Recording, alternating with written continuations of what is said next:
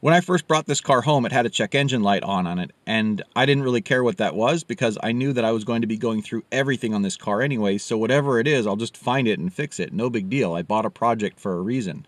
So then I went through and did all the repairs you've seen in the previous installments, just getting it clean, getting it presentable, getting it safe to drive down the road. And so that's all done. And in the meanwhile, the check engine light turned off. Well, they do that from time to time. If, if, a, if a fault has been corrected and the computer identifies, oh, you know, I haven't been noticing this fault for the last two or three drive cycles, we'll just shut off that check engine light. So that might be something that's happened, or it may be an intermittent electrical fault. I really have no idea. So today's job is to finally start figuring out what that is. Interestingly, when I took this car out for a little drive this weekend, the check engine light came back on. So I'm just going to plug in this little OBD2 dongle, and we're going to find out together exactly what this car thinks is wrong with itself.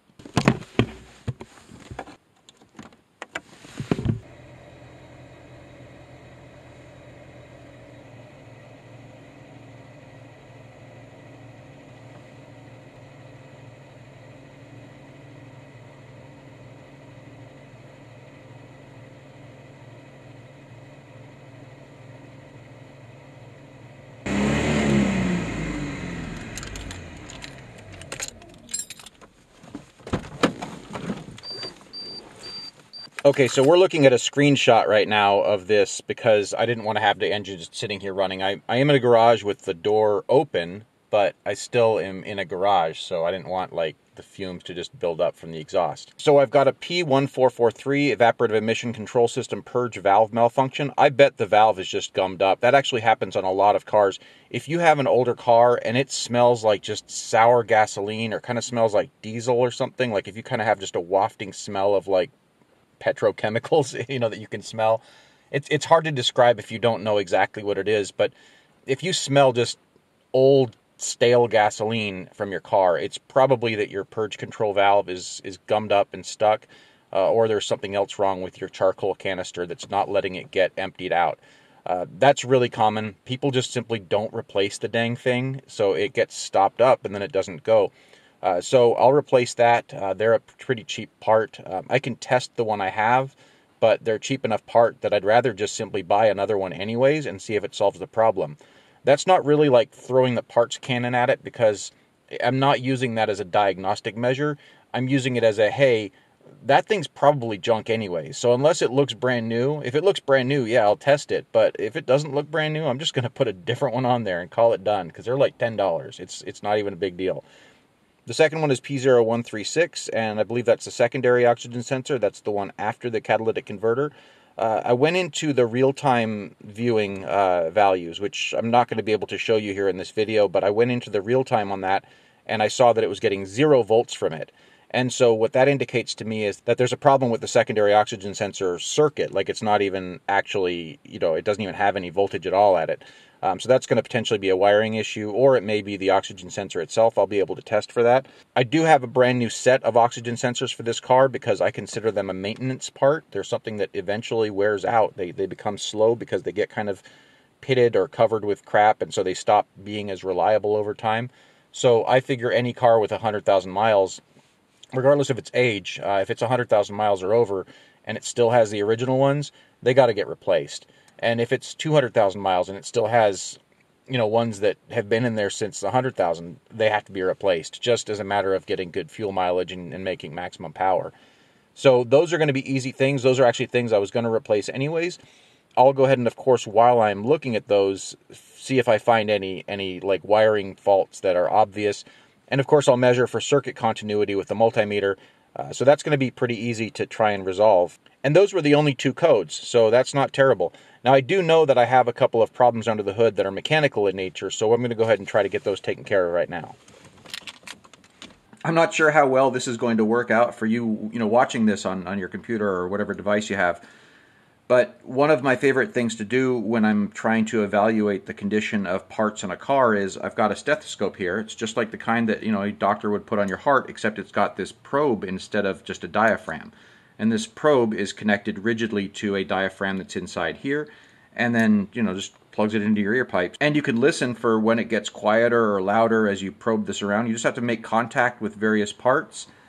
And so if you've got kind of a strange noise Obviously, you don't want to make contact with something that's actually moving, like so these guys here, the outside of this is going to be spinning, this is going to be spinning. You don't want to put this where you're going to hurt yourself or damage your tool or anything.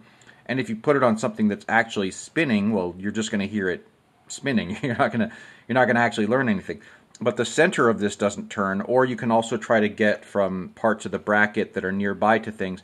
And it's a really easy way to identify exactly where a, a weird noise is coming from. So while I was running the car to try and figure that stuff out, I found that the bearings that are in this guy here, this is the idler pulley, the bearings on this were failing. They're really loud. Uh, the rear bearing on the alternator sounds like it's on its way out. The front one sounded okay, but, but apparently you can still buy rebuild kits for these alternators. Uh, it's a lot cheaper than buying a whole new alternator. So I've ordered a uh, rebuild kit for this guy, and that comes with new bearings as well as new brushes and a couple other little parts. I didn't notice any noise problems down here with the tensioner pulley, but I bought a new tensioner anyways because they're relatively inexpensive. So I'm going to replace the tensioner pulley and the idler pulley now. But first, that airplane over is going to make sure its presence is known. And I'm going to go ahead and start the car and see if uh, somehow I can stick this stethoscope in a way that you can hear what it's doing.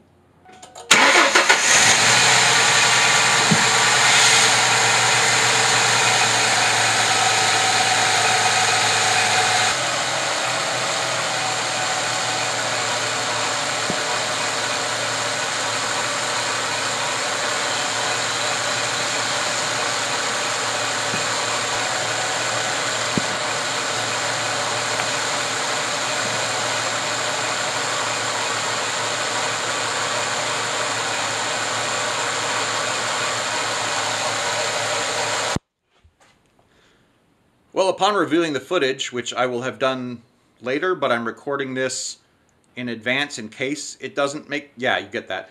Uh, so, upon reviewing the footage, I found that there wasn't enough like audio picked up by the stethoscope. Uh, but you'll just have to, I guess, trust that it, it's a loud enough sound that I could hear it with my bare ears. And it was identified as being specifically the bearings in this idler pulley uh, and also the back, the back bearings on the alternator. So we're going to go ahead and remove the belt and remove the tensioner and the idler pulley. And uh, I'm going to replace both of those things and then put the belt back on. The belt itself looks like it's pretty good for now.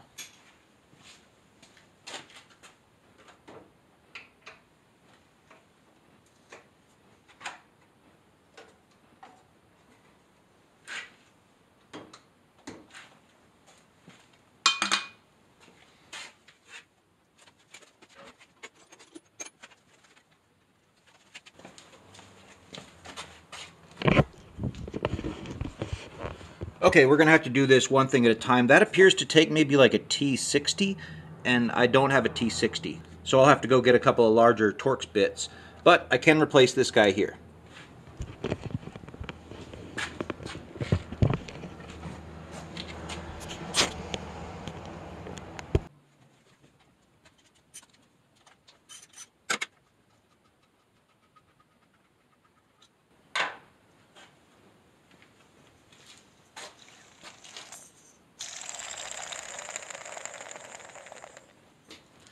All right, I'm really striking out here.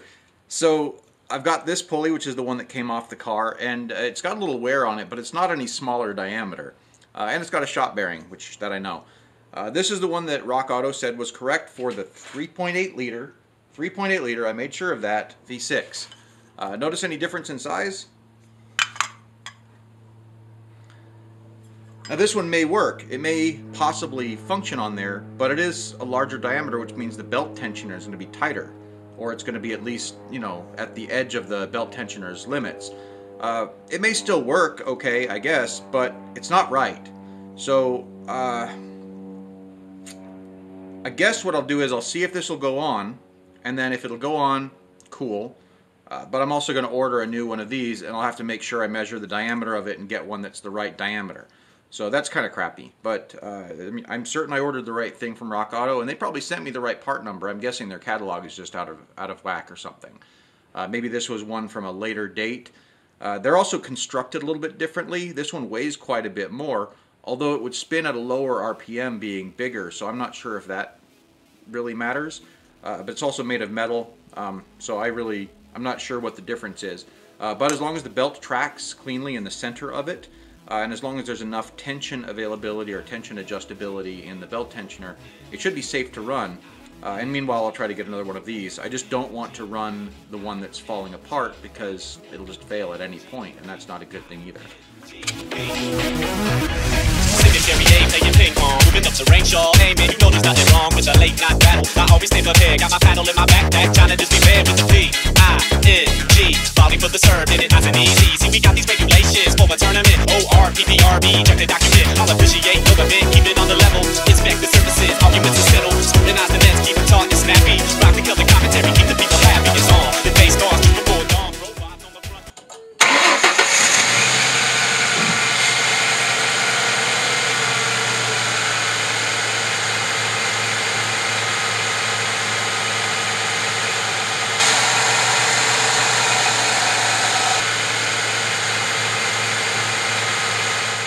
think I've mentioned in an earlier installment of this that I'm really glad no one's come up with an internet smell printer or a or a plugin or whatever that lets you smell what someone is smelling on the other side.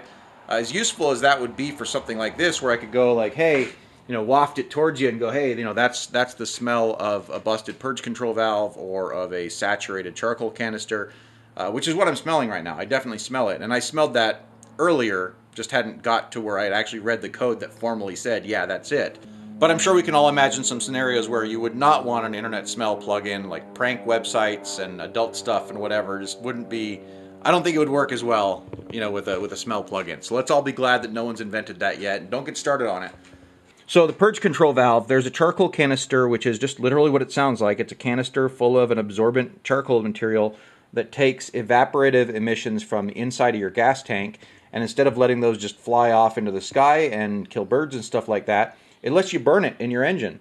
So there's this, which I think is probably a sensor. I, I, don't actually know yet on this particular vehicle, but I think this might be a sensor for it. And then down here, this is the actual purge control valve down here, and it's just loosely flopping around and may not even be plugged in for all. Oh, it's plugged in. It's just yeah. Um, so I'll have to dig that out. But those guys get locked up over time. They just they just get locked shut basically by by the fact that they're messing with gross chemicals. And the tubing that they're connected to always deteriorates because this is like the volatile, the grossest stuff coming off gasoline. So it's you know it's ready to react with anything, and so it'll react with the rubbers, it'll react with whatever. The nice thing is that you do you, your engine gets to burn it, you know, so that's super cool that you get to actually make use of that gasoline since you paid for it, and incidentally, it's also saving some birds and whatever, you know. So it's it's a win and a win. You whether you care about the environment or not, you, you still get to burn the gas you paid for. So under normal operation, you know, when the when the car's computer decides the time is right to make use of the purge control valve or open it up, it opens that and your car has a natural vacuum that's drawing that into the intake manifold and so it'll draw those those gases out of the canister and burn them and then, you know, it'll stay clean basically. It just it, that's kind of a self-managing system. And I think, I'm not sure, like I said, but I think this might be the tattletale that informs the computer of whether or not that actually has been doing its job. Because otherwise, the computer wouldn't really know. Like on that car there, it's not smart enough to know whether or not it's failed. It did fail before I bought the car. I replaced it just as a matter of preventative maintenance because I don't like that smell.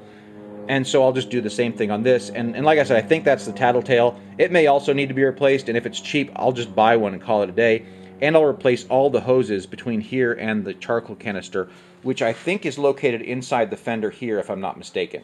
So that'll be an easy fix. The nice thing is that once you get, get the vacuum portion of it working correctly again, the canister tends to clear itself out. Like, unless it's been mechanically damaged by collision or some other weird event or circumstance, they tend to just kind of clean themselves out because you've always got the fresh, you know, the fresh gas vapors coming through them and getting them sucked into the engine. So there's always that flow through them. And so they, they tend to clean themselves out naturally or mechanically or whatever you want to call it by design. So thankfully, that should be an easy fix. The oxygen sensor, um, I'll have to get underneath the vehicle. I'm going to check that code that I got and verify exactly which one it is. And I'll replace all the oxygen sensors because I already have them, and that's planned preventative maintenance. And while I'm in there, I'm going to use my multimeter to do continuity testing and just make sure that everything feels like it's connected the way it should be. Uh, that should cause the codes to clear themselves. And when they clear themselves, cool, we're in business. It should run better. And we always like it when things run their best. That's kind of the name of this game. Uh, meanwhile, I'll order a new one of these guys that's the correct size now that I know this is the wrong size. Uh, there's still a little bit of slack in this, and the tensioner should be keeping the belt at about the appropriate tension, but I don't like to take chances on that kind of stuff. I'll probably order another belt while I'm at it. Uh, this belt looks good. It doesn't really have any cracks or anything in it, but you know now I'm putting extra load on it. I, I just don't want to deal with it being a question mark. Continuing the game that I've been playing with this car since I bought it, uh, let me know down in the comments below what you think the market value on it is as it sits right now. now. Knowing that I haven't actually done really any of the repairs that we just analyzed today, right? We pulled the codes that were causing the check engine light to come on, and it's two codes both of which are pretty easy to understand. One of them I was able to get secondary information on using my nose, and so I'm certain that that one's going to be an easy fix. Just get it done with. Uh, it's, it's really not a difficult system to analyze and repair. And then the second one is uh, oxygen sensor that has just flatline zero voltage, which tells me that the sensor itself is probably damaged or the wiring to it. Uh, if the wiring, for example, came in contact with the exhaust pipe down there, it may have just melted through or shorted out, which would give you a zero voltage. So uh, those are all things that are pretty easy to check once I get underneath the car properly. And so I'll get to work on fixing those. But as of right now, those have not been fixed. I also put a new idler pulley on it, although I don't really think it's the right part. It's a little bit larger diameter than the one that came off of it. There's enough give in the tensioner that it's probably okay forever, but I'm not going to like it, so I'm going to order a new one that's the smaller diameter. I did compare it with my 94 that has the 5 liter V8, and the 94 does have the larger diameter pulley. Uh, and I'm not really sure if that has something to do with RPM, like how fast it's spinning, because a smaller one with the same belt speed is going to spin faster. And I'm not really sure why they made those changes. Geometrically, this one fits in there just fine. Uh, but I'm going to go ahead and get the smaller one anyways. So we can consider that like half fixed, like it put off having a problem, but I'm not happy with it, so it's still going to get fixed better later. So what do you think the market value on this car is as it sits right now? Do you think it's gone up at all just by knowing what the check engine lights codes are for, so it's not a complete mystery? Uh, especially now that we know, you know, my analysis on it, uh, I think it's going to be a pretty easy fix, like legitimately, and and I don't have any motive to tell you otherwise. A, this is something I know how to do very well, and B, I'm not actually trying to sell the car, so I have no motive to try and say, oh yeah, that, that's an easy fix. I, I know it's an easy fix. I'm the guy who's going to be fixing it. So we'll find out together if I'm wrong about that next time. Additionally, if you're interested in seeing where I go with this, uh, if you think this is an interesting topic, if you want to know more about Mustangs in general, uh, or watch me when I start, you know, actually adventuring now that the, the summer's coming, go ahead and hit that subscribe button and come along for the ride.